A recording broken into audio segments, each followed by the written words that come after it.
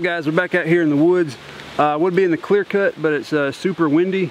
Um, you can probably hear it uh, blowing the trees and all that stuff, so I tried to come in the woods. Maybe it would uh, block some of the wind, but um, anyway, it's still loud in the trees, so I apologize if you uh, hear that a lot during the video.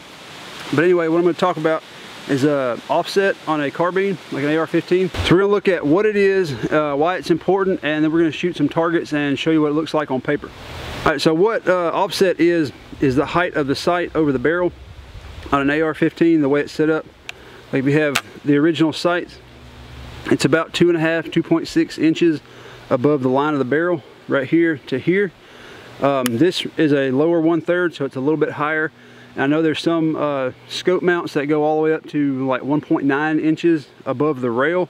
So you're getting you know pretty close to three inches of sight height over your, uh, your barrel. And the reason uh, that's important to remember is because if we're taking shots close range, uh, which most of us that own AR-15s, um, well, that's what we're going to do. We're not going to be shooting out to 100 yards, hopefully.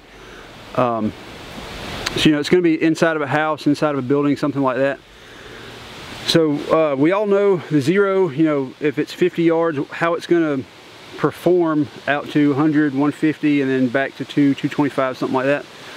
But what a lot of us forget or just don't think about a lot is how the uh, what the impact looks like from 0 to 25. You know, 5 yards, 10 yards, those up close distances that we're probably going to face uh, when we have to use this thing. So you might be thinking, you know, two and a half inches difference is not that big a deal. You know, you've got an 8 inch circle right here to hit. If you get somewhere, that's good.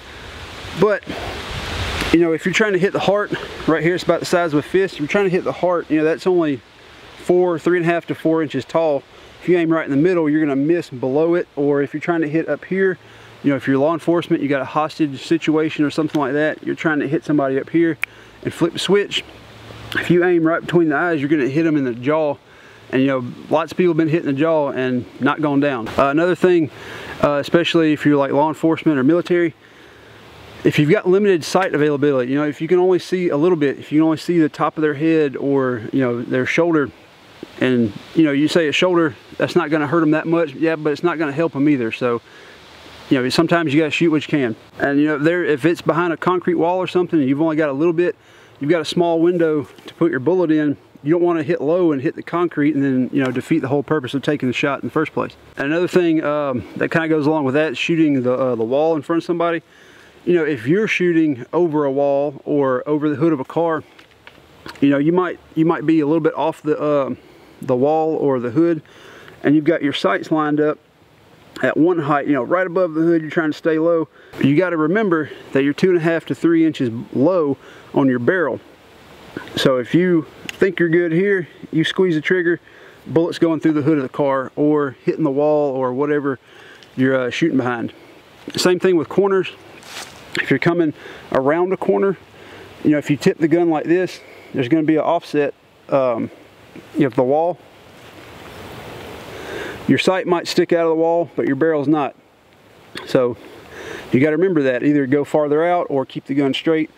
Either way, you got to think about it. And one thing all these uh, situations have in common, we're accountable for our misses. If we take a shot, uh, we're accountable for where that bullet goes, what that bullet hits.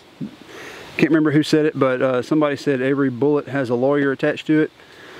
That's something good to think about and to remember especially uh, you're probably not going to think about it when the time comes to shoot but just keep it in your mind and it'll help you practice and help you train. All right so i got a little target set up here.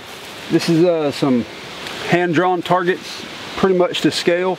Uh, it's a little bit smaller than me. I'm about 6'2 so i'm pretty big so i made them a little bit smaller. But anyway here's a face. It's got a triangle. It's about four inches tall three inches wide. It's got the eyes and the, tip of the nose right here. This is pretty much where you're going to be wanting to aim. Um, to hit the soft spot, the uh, brain stem, the bottom of the brain. Uh, put the orange here just so I can see it when I get back to like 15, 25 yards. Um, and then down here, got a little heart set up. The heart's about the size of the fist, which that is. It's about four, three and a half, four inches tall. The same thing, about three and a half, four inches wide. Limbs falling out of trees. Anyway, um, so what we're gonna do is I'm gonna shoot them uh, from three yards it's pretty up close. Um, I'll probably go back to 25 yards most. you know, home defense, whatever, it's probably going to be 10, 15 yards. A lot of people's houses aren't that big. They don't have that long of a stretch to shoot. Uh, so maybe 15 yards is probably the maximum on that. But uh, we'll go back 25 yards and shoot a few there just to see, um, you know, if you have to shoot outdoors or in a big building, what that might look like too. So what I'm going to do is I'm going to put my dot in the center of the orange because that's, you know, if you're not thinking about offset, that's where you're going to aim right in the middle of that. And I'll show you where the bullet hits. And we'll see if we can get it in the triangle or in the outline of the heart. All right, I got my uh, 10.3 SBR. This is set up for 50 yards and it's a lower one third. So even out to 25 yards, a lot of these shots are probably going to be low. Even if you had like a 100 yard zero or a 25, they're, they're going to be maybe an eighth of an inch or so off uh, from these close of, this close of a distance. So, you know, it doesn't really matter. This is uh, the only gun I have right now set up for 50 yards. Well, I've got a, a, seven and a half inch pistol, but um, you know, this is kind of in between that and a 16 inch. So I'm to shoot it with this. Uh, first, I'm going to go back to three yards and um, I'll put one shot here and one shot here and we'll see what it looks like.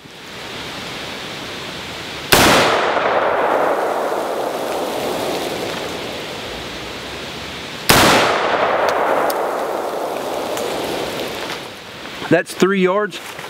I don't know if you can tell the bullet hit right here, right below the lip. And this one hit a good one inch below the bottom of the heart.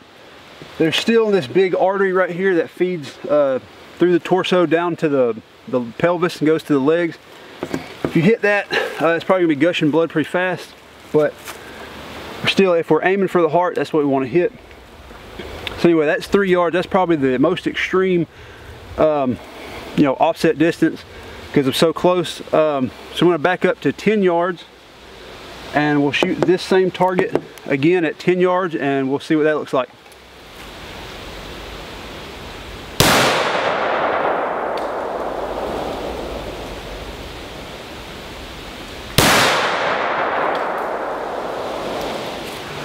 So as you can see from 10 yards, you know, we're still hitting uh, a good inch or two probably two inches low on both of these. And that's, I mean, that's 30 feet. If you think about it in foot terms, that's 30 feet. How many of our houses, uh, you know, have a hallway 30 foot long or have a room 30 foot wide? So, you know, if we're trying to hit something really small, that close a distance, that's something we got to think about. I'm going to go ahead and uh, probably jump back to 25 yards and we'll shoot this one over here. It's the same thing. And uh, we'll see what that looks like at 25 yards.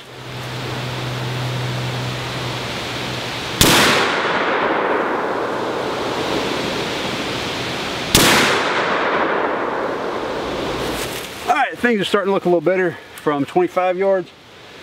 Right here we're at the top of the nose. Um, I go ahead and say it's about an inch and a quarter low. Um, right here, where the very bottom edge of the heart, hit just inside the bottom line. Um, same thing, about an inch and a quarter, inch and a half low. So you can see the, the difference between a, a three yard shot, a five, a 10 yard shot, and a 25 yard shot. And then at 50, of course it would probably be in here in the orange. Uh, this is confirmed at 50, hitting dead on. So like I said, at 50 yards, if I shoot it, it'll hit right where I'm aiming. Now I will say uh, on these, these eye box shots, they're probably a little low anyway because I put the dot a little low. It should probably be right between the eyes. It's about a half inch low anyway.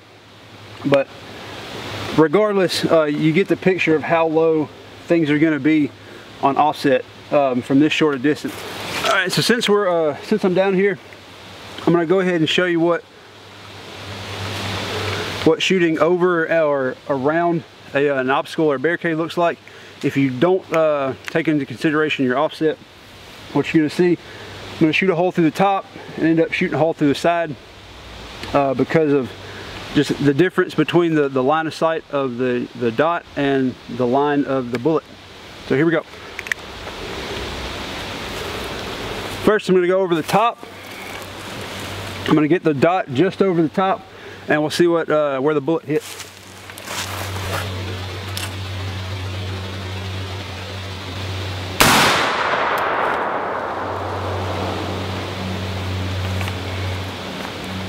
Uh, yeah, I guess I'm an idiot because I didn't realize That's a foam, that's a foam board.